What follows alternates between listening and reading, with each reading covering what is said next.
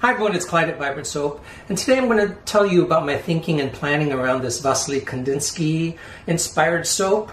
And I think it might be useful to you in that you can kind of just relax and not worry about color theory so much because Wassily Kandinsky believed that color was a way of expressing yourself, feelings and your spirituality. So this is more of a kind of gut level use of use of color. And one of the things that he did, I can translate to you to make you feel like, oh, I can do that. And if you look at a color wheel, and I'll talk about this in the color tutorial, you can use any of the colors on the outside edges of that color wheel, pick three to four of those, five of those, and put them together, and you will have a beautiful soap. It's going to be bright, it's going to be um, expressive, it's going to be light, it's going to be playful and um, very kid-like, which is what his work was all, all about. It was very freeing. So how do we get off track with that sometimes is that we want to sometimes explore something else. We want to use the visuals of our soap to um, translate the scent that we have in that soap and tell that to our customers. Uh, we want more nuance. We want um, something not as bright. So, for all those reasons, all the color tutorials I did may be helpful to you. But if you're bogged down someday and just want to get back to using the colors of a rainbow, that's absolutely fine. And that's what I wanted to do. I haven't done a rainbow soap in such a long time, but I wanted to think of uh, an artist in this series of artist inspired soaps that I can do um, rainbow colors on. So this is that video and I'll start off with a color tutorial.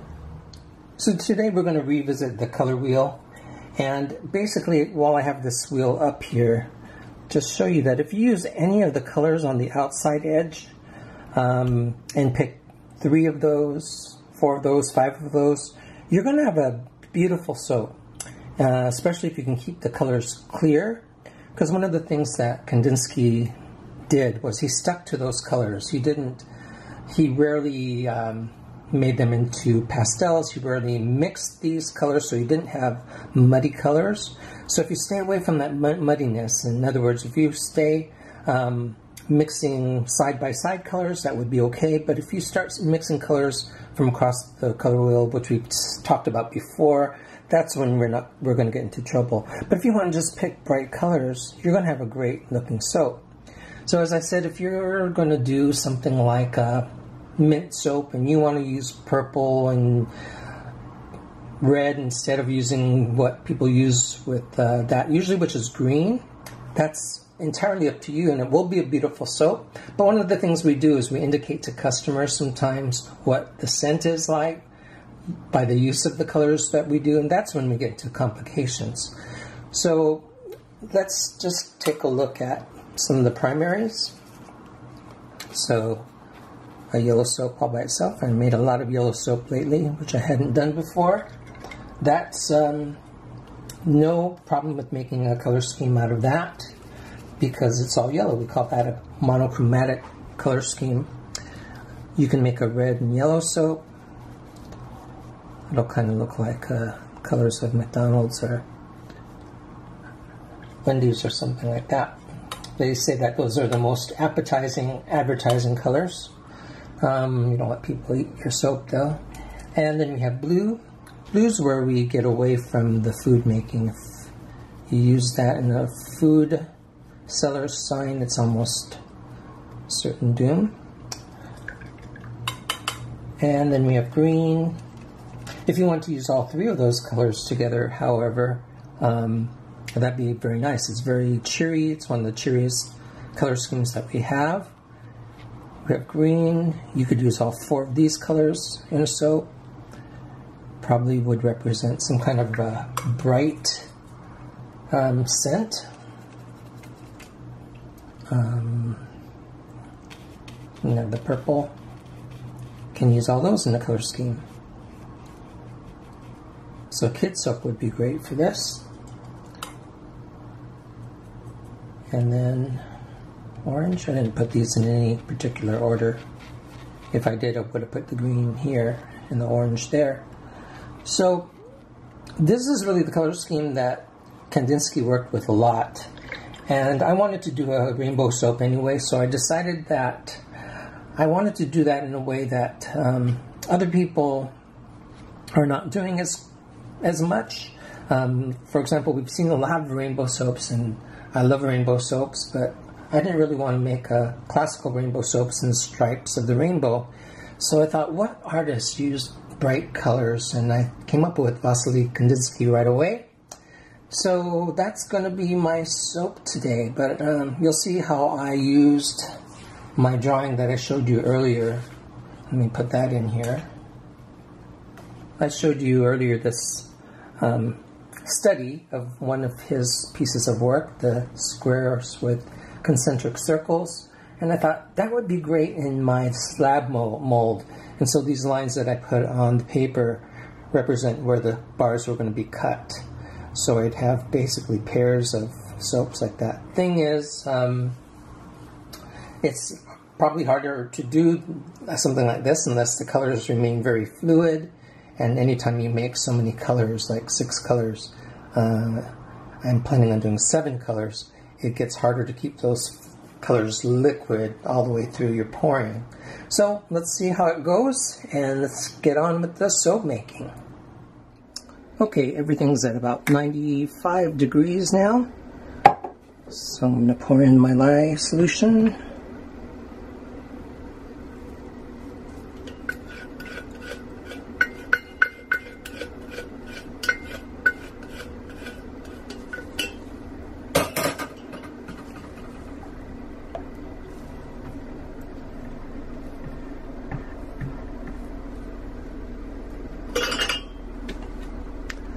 And let's blend all this up. I've already got my kaolin clay in there.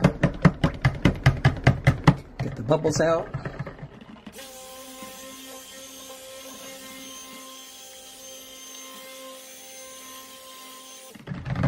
I just want to bring this to emulsification and get my lime fragrance in there. I really like this lime fragrance. Seems right for spring and summer.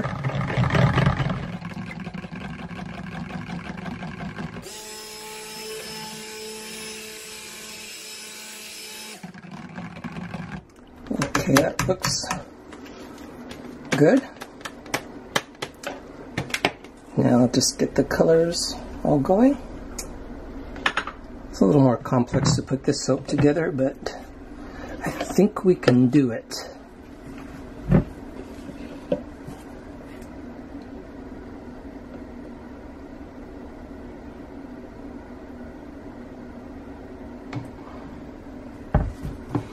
I have more of that green and orange, but I've got a lot of other colors too.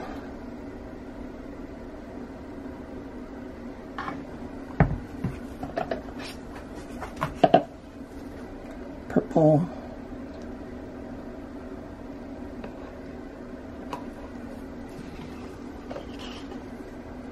Red.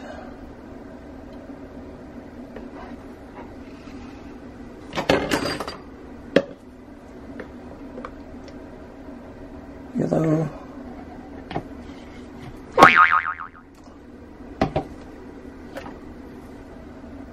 Little blue. And looks like I'm not going to have much for the green, but I do want a little bit of this, so I'll just use a little of my mica there. And I'm going to have to stir that in, because otherwise it'll be a bubbly mess.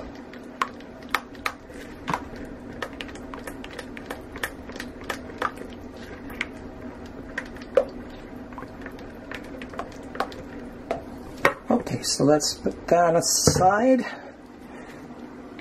Let me start mixing with my lightest colors first. Let's start mixing the yellow.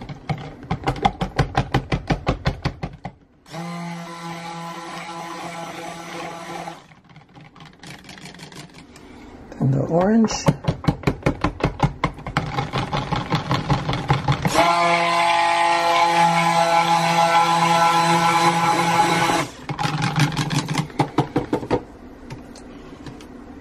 the red.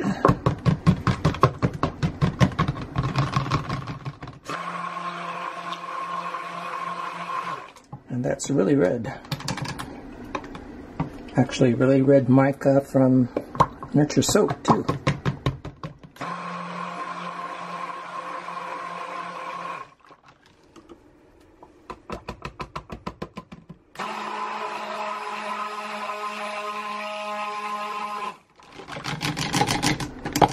Okay. Let's bring you to the mold. First thing I want to do is just get this lime green down there. It's hardly going to show up in the soap, but I wanted something to to say visually that this is a lime soap, and this is also going to anchor my dividers.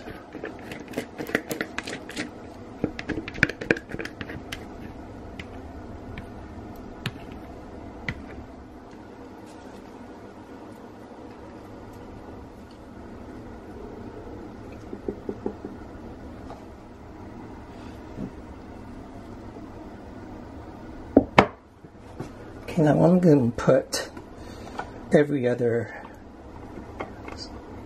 side divider in there. In other words, I have some other dividers that will go in here. And that's because I want to be able to pour these separately.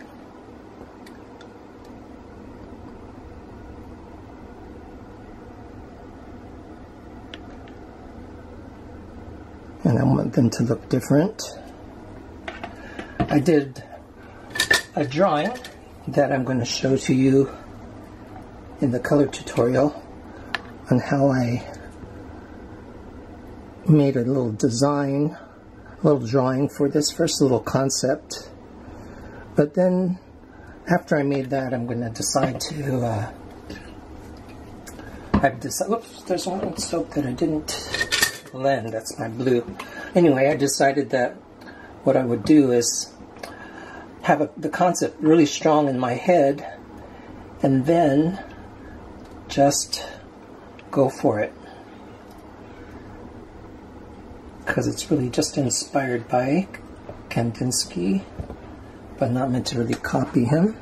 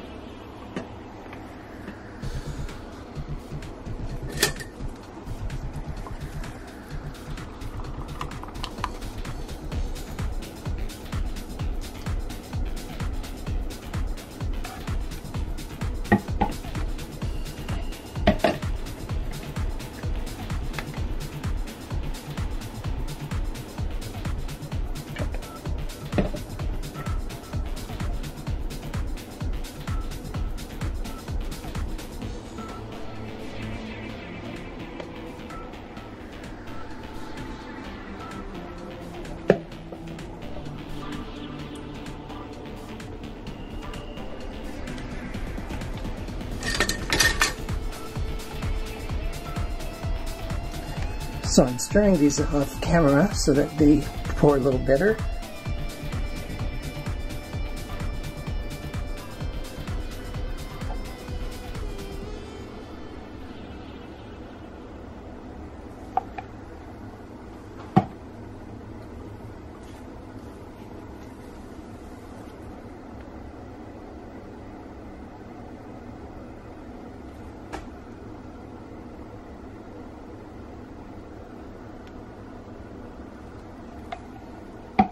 give this a little tap down.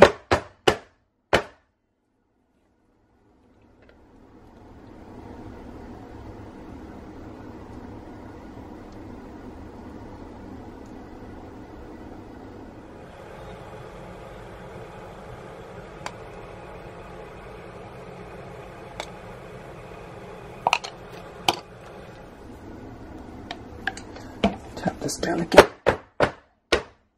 Tapping it down because I want it to lie flat.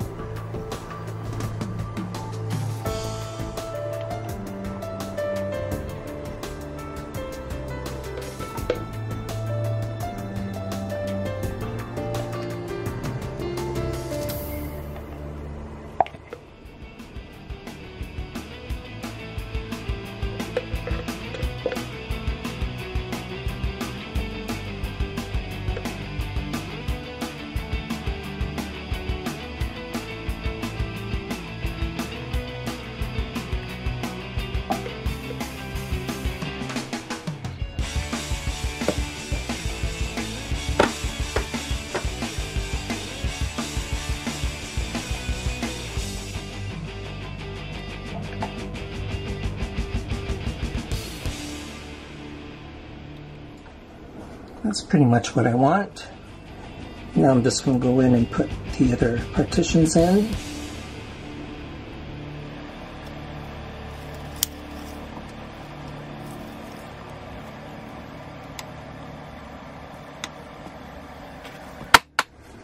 Now in my Kandinsky photograph of this painting, I noticed that um, there are some lines that contributed to the pattern.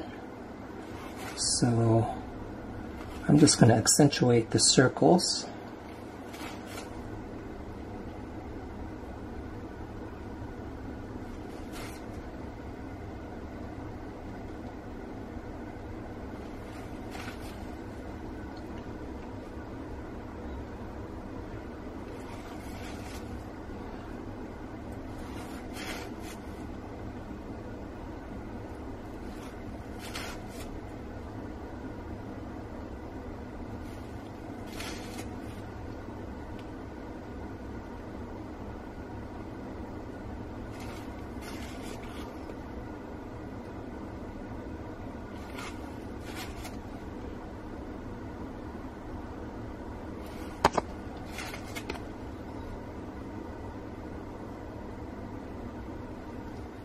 And since I'm treating each one of these soaps, treating each one of these bars as, as its own thing, I'm going to clean up a little bit around each one.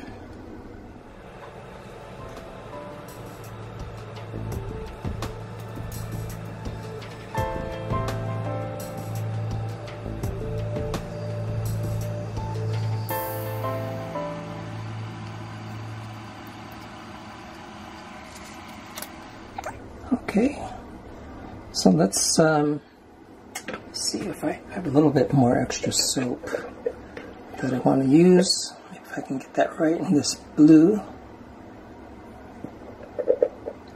See if there's any other low spot.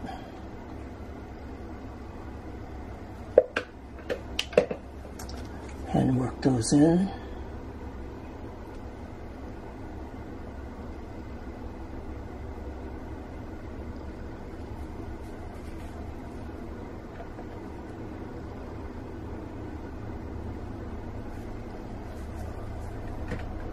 Okay, let's spray this with some alcohol and then I'll bring you back to the unmolding. We'll see if this experiment worked. I'm not so sure.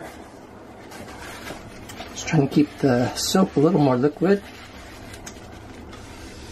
But anytime you make a lot of colors, it, it's hard to maintain that liquidy soap. Okay, I'll bring you back for the unmolding. I couldn't wait to unmold this Kandinsky soap.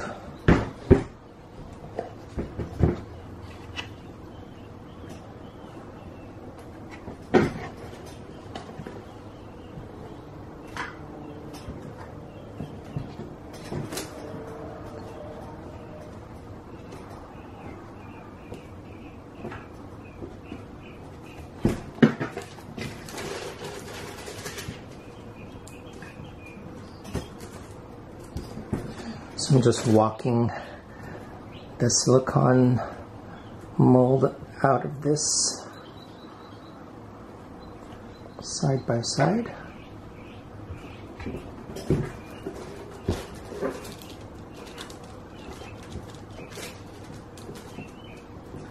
If you saw the unmolding of the optical art soap, I had the same issue with working harder to get it out. And that usually means that I could have waited a little longer to get the soap out. If it's real firm, it doesn't want to hold to the edges of the, the wood mold.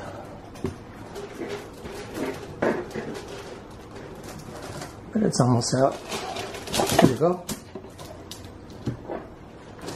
This part is no problem, it just falls out of that part. There's the lime green bottom. So let's see how these turned out. I kind of like the bottom too.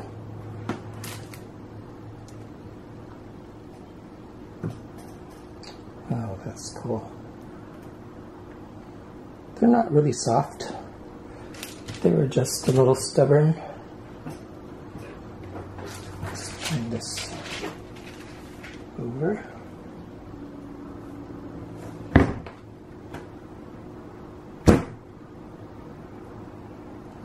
Really like the edges. Now this one for sure will, it'll be the case that every single bar is going to look very different. Same colors, but quite different designs.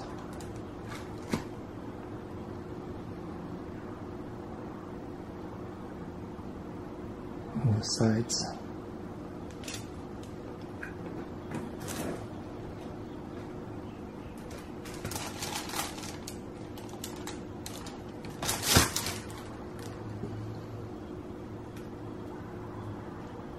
I can bevel that little bubble right there.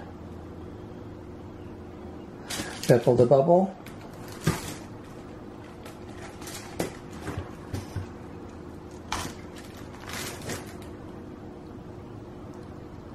I like that one too. It's really glassy sides with that divider edge.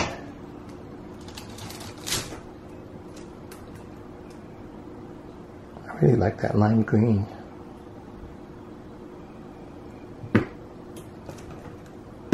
And I've always liked lime fragrance, so clean it. It's one of those citruses that really keeps its scent. That looks like an S, my super soap.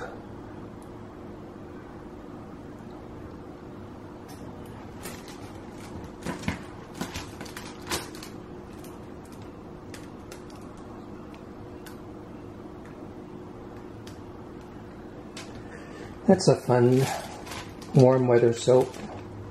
Kind of feeling that way now that it is warming up, finally. That's cool. Some of these poured a little bit more shallow, so I will keep those.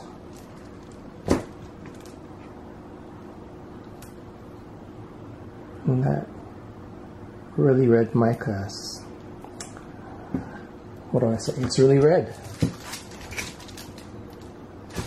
think I'm going to take the side dividers out now.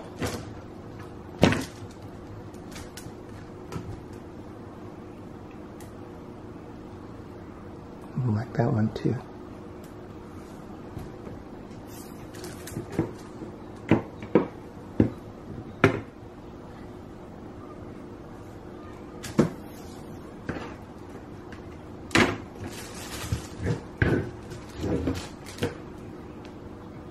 I like that color combo there with the darker green and the lime green. It was just fun to see how differently they all came out.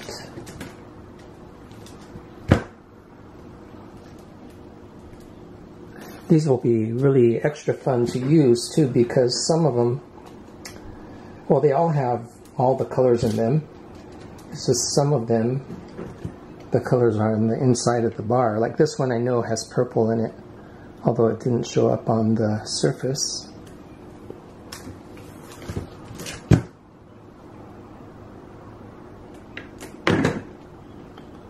That one just has just a little bit of purple.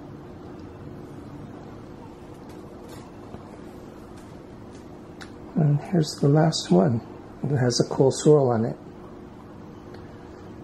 Okay, so again, I'm going to probably um, link you to some of the other videos where I did this type of pour um, in the slab mold. And uh, just in case you're curious about other ones I've done. And then um, thank you for watching, subscribing, and uh, commenting. A lot of comments on the Optical Art soap. And uh, we'll see you again real soon. I'm going to do the next um, soap, I think, will be um, the soap where I'm going to try to work with the, the Browning Lemon Curd fragrance and make it work in a design now that I know what it does. And uh, have that edited and, and up uh, a week after this one. So we'll see you then. Thanks for watching. Bye. Oh, and I didn't want to forget that I poured the extra soap in these little oval silicone molds. Oh, that's kind of cute. Very colorful. And one that I hardly had any more left of the scrapings. There it is. Looks like a little island. Alright, we'll see you next time. Bye everybody.